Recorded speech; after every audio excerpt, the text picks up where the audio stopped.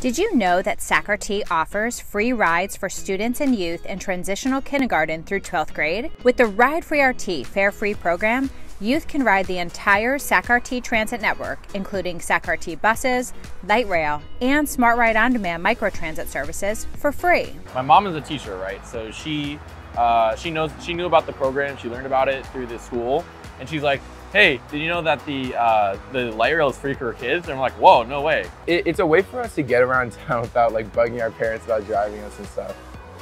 And it's a lot safer than driving too.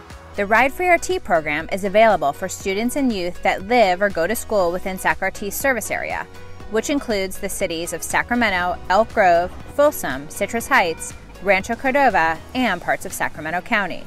Approximately 265,000 students in grades TK through 12th, homeschooled students, and foster and homeless youth are all eligible. I don't really have my permit yet, so it's either call an Uber um, or I should say like a share app.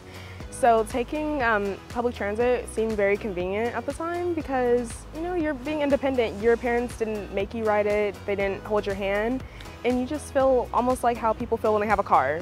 But maybe it's a little safer. SACRT launched the RydeFreeRT Fare Free program in October 2019. At that time, SACRT experienced a 127% increase in student ridership in just a couple of months. Over the last year, SACRT provided over 2.4 million free rides to youth across the region. New RydeFreeRT cards for the 2022-2023 school year are distributed by schools and are valid through June 30th, 2023. For students and youth that still need a card, visit SACRT's Customer Service and Sales Center located at 1225 R Street, adjacent to the 13th Street Light Rail Station, or any Sacramento Public Library. Learn more at rydefreert.com.